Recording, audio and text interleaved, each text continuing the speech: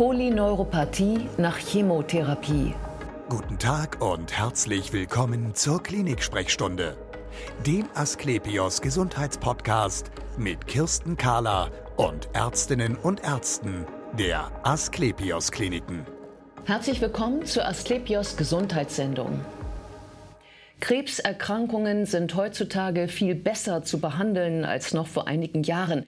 Eine große Rolle spielen dabei Chemotherapien. Leider aber haben gerade die Medikamente gegen Darmkrebs und auch gegen Lymphome eine sehr häufige Nebenwirkung, nämlich die Polyneuropathie. Die Patienten klagen dann über Taubheiten in Händen und in den Füßen. Die Frage ist, wie früh kann man dagegen vorbeugen? Bei mir ist Dr. Svenja Neumann. Sie ist Oberärztin der Klinik für Innere Medizin 1 an der Asklepios Klinik Nordheidberg. Schön, dass Sie Zeit haben, Frau Dr. Neumann. Und sagen Sie mir gleich, was passiert da genau mit den Nerven bei der Polyneuropathie? Letztendlich ist es nicht ganz geklärt, was, äh, was passiert. Ähm, äh, die genauen ähm, Mechanismen, wie die Nerven geschädigt werden, äh, ist letztendlich abhängig auch von den Medikamenten, die verabreicht werden. Ähm, aber es bleibt insgesamt ähm, bleibt es unklar, ähm, warum letztendlich einige Medikamente Schädigungen der Nerven auslösen ähm, und andere eben nicht. Warum das bei einigen dosisabhängig passiert, bei anderen ähm, überhaupt gar nichts mit der Dosierung zu tun hat, sondern mit der direkten Gabe. Ähm, das bleibt leider bisher äh, ungeklärt. Ja, also es gibt, glaube ich, so ein paar Medikamente, bei denen äh, muss man eigentlich das schon einkalkulieren. Das ist wahrscheinlich passiert, irgendwie Platinverbindungen, aber nicht nur, glaube ich. Hm? Ähm, das ist genau richtig. Ähm, letztendlich ist es ganz wichtig, dass man schon bei der Aufklärung über die Chemotherapie ähm, dieses, diese Problematik anspricht. Wir haben eben gerade bei uns äh, viele Patienten mit äh, mit Tumoren im Magen-Darm-Bereich und aber auch viele Lymphompatienten.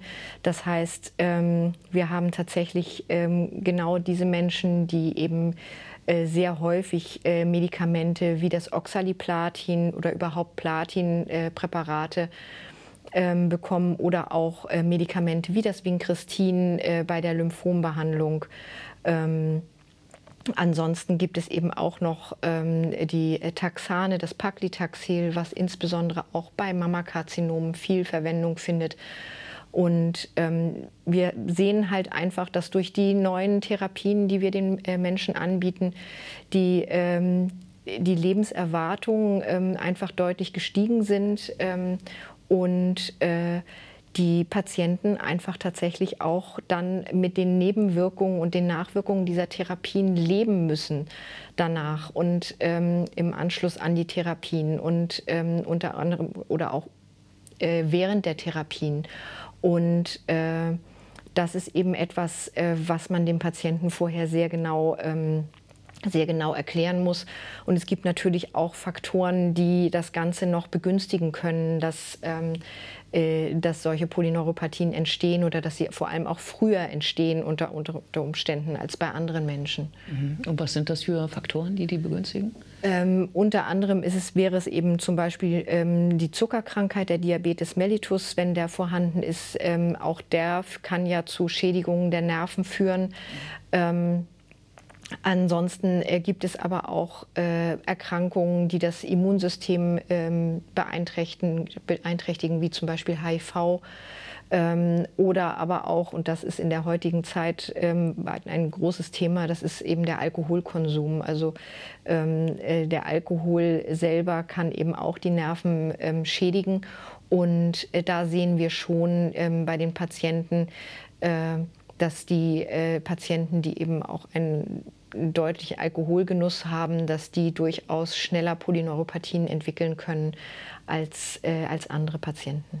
Und äh, die Symptome, ist, ähm, ich sprach ja von Taubheiten, aber das ist, glaube ich, nicht alles, oder?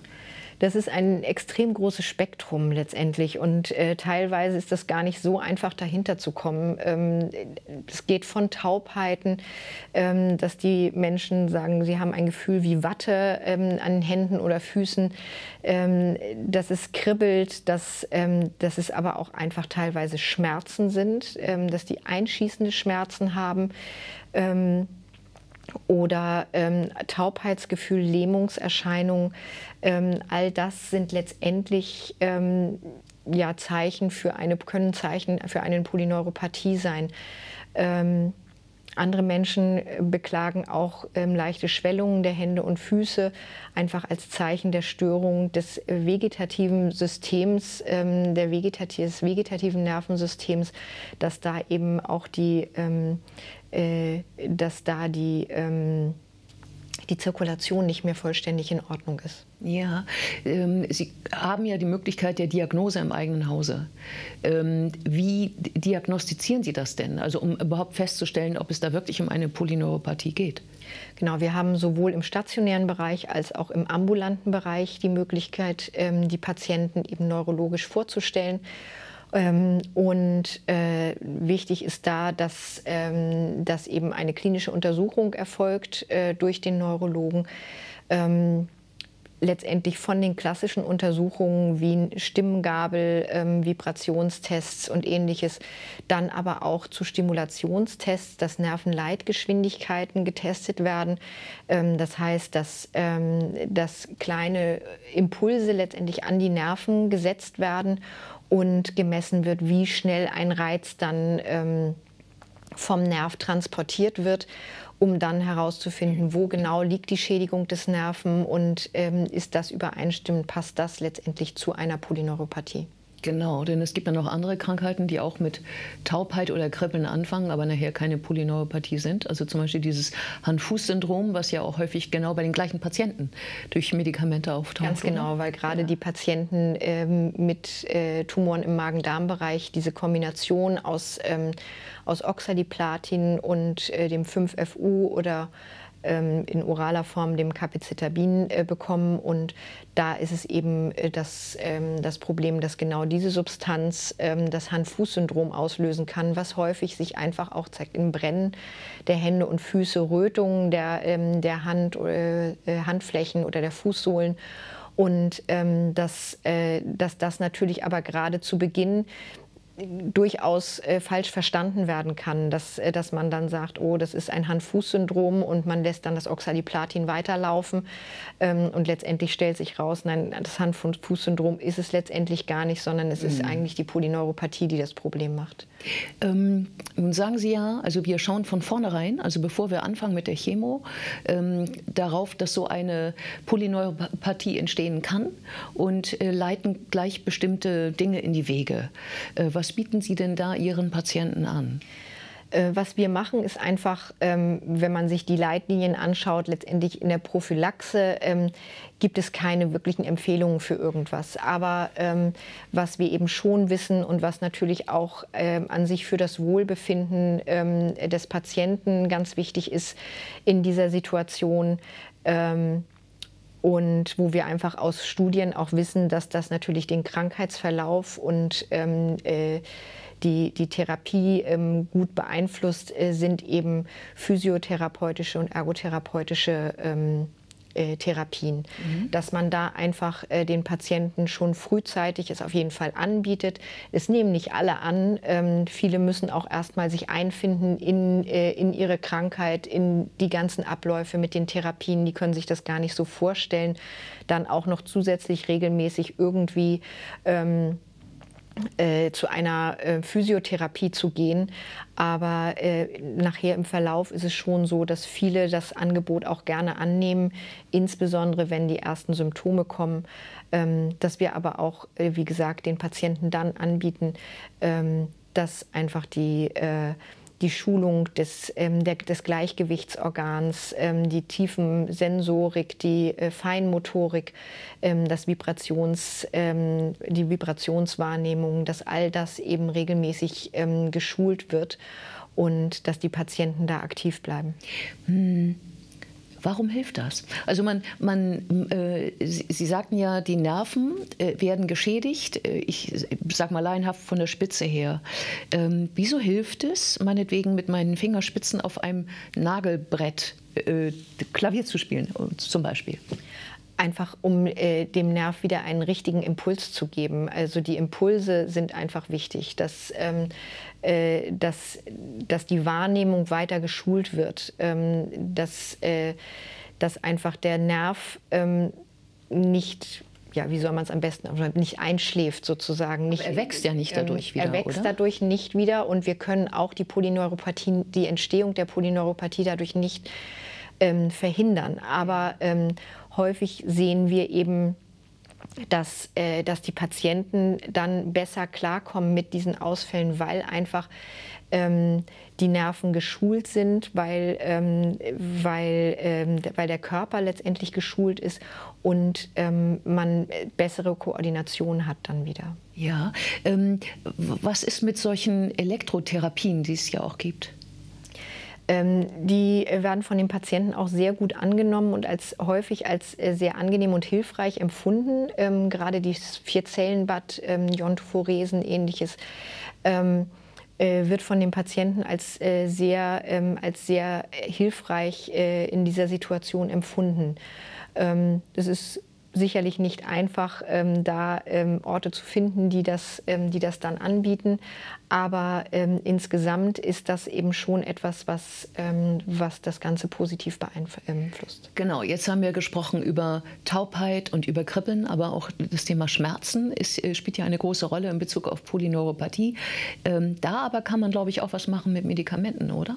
Genau, das ist ähm, letztendlich das, äh, das Gebiet auch der, äh, der medikamentösen Therapie, mhm. ähm, wo man dann, viele kriegen dann erstmal einen Schreck, wenn es heißt, oh, auf der Tablettenpackung steht Antidepressivum, ich bin doch nicht depressiv. Ja. Letztendlich ist es aber so, dass eben die ähm, die Schmerzreizleitung ähm, durch diese Medikamente verändert wird und ähm, dadurch dieser schmerzlindernde Effekt äh, zustande kommt. Und ähm, äh, und das muss man dem Patienten eben auch vorher erklären, weil die kriegen häufig dann, wenn sie eben sagen, das ist ja gar kein Schmerzmittel, ich kriege irgendwas gegen Depressionen. Ähm, fühlen sich nicht dann, ernst genommen. Dann fühlen die sich nicht ernst genommen. Ja. Jetzt hat er mich in eine Schublade gesteckt. Ja. Ähm, das ist eben tatsächlich nicht so. Natürlich sind auch die klassischen Schmerzmedikamente wie ähm, die nicht, nicht steroidalen ähm, Antiphlogistika oder aber auch die Opioide ähm, haben ihren Stellenwert in der Therapie, aber ähm, aber äh, es ist eben schon, ähm, es sind schon eben diese Neuroleptika und ähnliches, die dann die eigentliche ähm, die eigentliche Wirkung haben. Ja, wobei ja, glaube ich, auch erstmal nicht jedes Antidepressivum das kann. Genau. Und ähm, genau, und es auch nicht darum geht, sich einfach nur seelisch von dem Schmerz zu distanzieren, sondern tatsächlich, dass eine Wirkung hat auf die Schmerzleitung. Genau. Das ist faszinierend, genau. Und ähm, die Schmerzleitung irgendwie absenken, da geht es, glaube ich, auch noch um Genau, Antiepileptika sagten Sie auch noch, ne? genau, die da auch noch eine große Rolle spielen. Die spielen da auch noch eine, eine große Rolle, wobei man eben ähm, bei der Vielfalt der Medikamente, die man hat, einfach auch sehr, sehr ähm, stark darauf aufpassen muss, dass es zu keinen Wechselwirkungen mit, äh, mit anderen Medikamenten und äh, insbesondere eben auch den Chemotherapeutika kommt. Ähm, eine Frage noch. Ist, besteht eine Chance, dass eine, dass eine Neuropathie äh, wieder weggeht? Ja, also es gibt es schon. Mhm. Ähm, es ist so, dass, äh, dass man ganz klar dem Patienten sagen muss, er braucht viel, viel Geduld. Ähm, Häufig ist es so, äh, bei, wie gesagt, einigen Medikamenten ist es eben dosisabhängig. Ähm, und wenn man das Medikament frühzeitig stoppt, also mit den ersten Auftreten der ersten Beschwerden, dass man es häufig dann ähm, äh, dass man das häufig stoppen kann, dass es vielleicht noch mal kurzzeitig nach Ende äh, noch ein bisschen zunimmt, aber dann tatsächlich auch langsam nach und nach abnimmt. Ähm, gerade beim Oxaliplatin ist es das Problem, dass das teilweise auch erst im Verlauf auftritt, auch nach Absetzen der Medikamente. Mhm. Ähm, dass es auftritt und dann wirklich in Wellen ähm, teilweise immer schlechter wird oder aber auch äh, in Wellen besser werden kann. Ähm, häufig sehen wir das dann natürlich dadurch, dass das eben dann unter Umständen erst nach Absetzen auch der Therapie äh, beginnt. Ähm, sehen wir da, haben wir da dann ähm, das Problem, dass diese Polyneuropathien gar nicht erst wieder weg gehen, sondern dass das letztendlich ähm, ein Bestandteil leider ähm, des Beschwerdebildes des Menschen einfach bleibt. Mhm. und wir den Patienten einfach helfen müssen, mit dieser Symptomatik zu leben. Vielen Dank für das interessante Gespräch. Vielen Dank. Und wir sehen uns wieder auf www.asklepios.com, auf Facebook und auf YouTube. Werden Sie gesund.